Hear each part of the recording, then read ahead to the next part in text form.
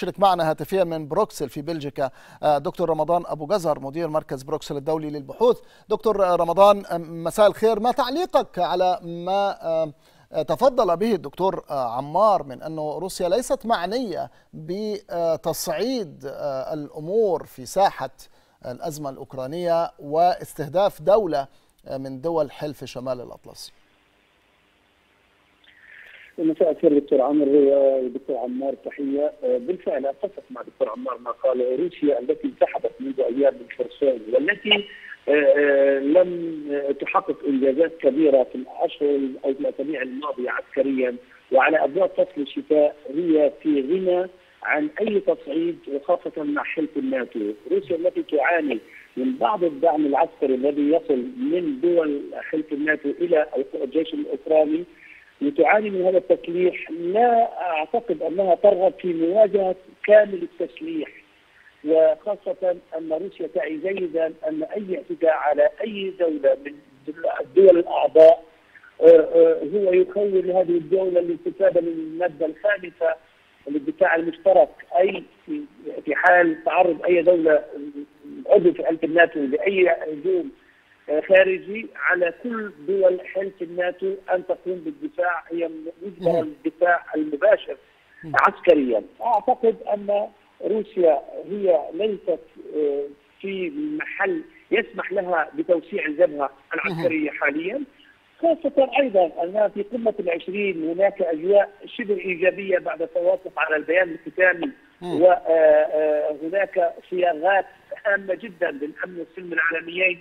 على توافق الرئيس بايدن مع الرئيس الصيني تشي بضرورة الابتعاد عن استخدام العبارات العسكرية أو العبارات الحربية فيما يتعلق باستخدام الأسلحة النووية واتفاق الجميع على خطاب الرئيس الأندونيسي بضرورة العمل على وقف الحرب. الأجواء الإيجابية من الشرق قابلها سقوط قذائف وليست صواريخ.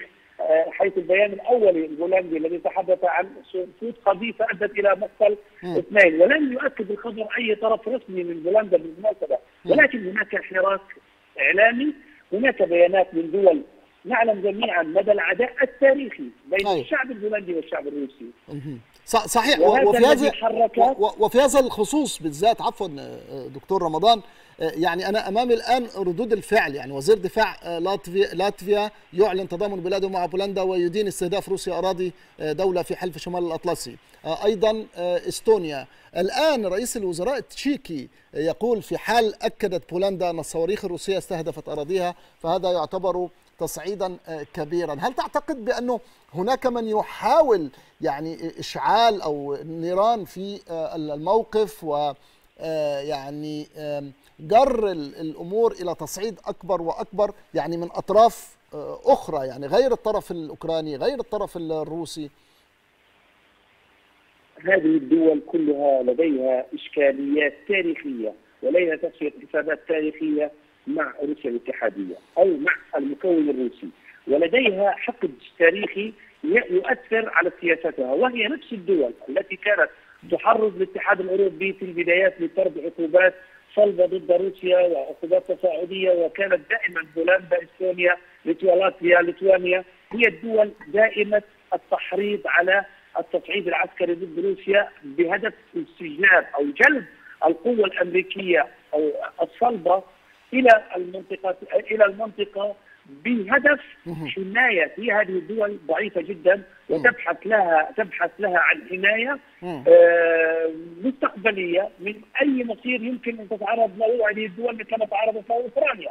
وهذا الخوف المحرك لهذه الدول المحرك لخطاب هذه الدول مشروع مشروع لأن الهجوم أو الاجتياح العسكري الروسي في شهر فبراير الماضي إلى أوكرانيا أثار مشاعر الخوف لدى هذه الدول الصغيرة القريبة جدا والتي معظمها لديها حدود مباشرة مع روسيا. أكرر أن الحادثة لا أعتقد بتقديري أنها يمكن أن ترقى إلى درجة حادثة عمل يمكن أن يجر حلف الناتو إلى المواجهه مع روسيا.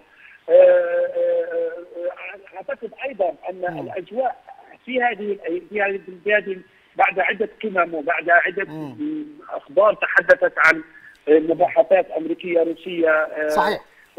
بعيدا عن الإعلام. أعتقد أنه ليس لي وإن حدثت هذه القذائف بالفعل قد سقطت وقد في أراضي بولندية فبإمكان روسيا إما تقليد الخبر وإما تقديم توضيحات بأنه هذا حادث عربي وعند الحدث العربي لن تقف لن يكون هناك مواقف صلبه. طيب أنا أنا بشكرك. شكرا جزيلا أستاذ الدكتور رمضان أبو جزر من بروكسل.